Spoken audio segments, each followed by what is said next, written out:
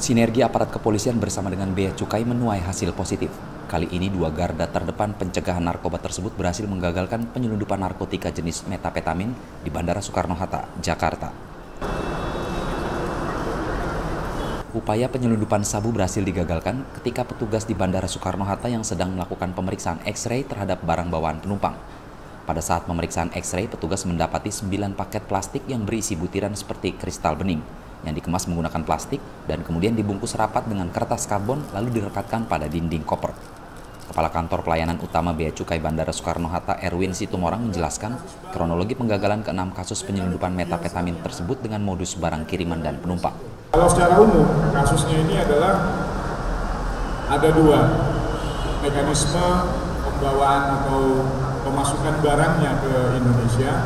Yang pertama, mereka itu memasukkan barangnya itu melalui barang kiriman.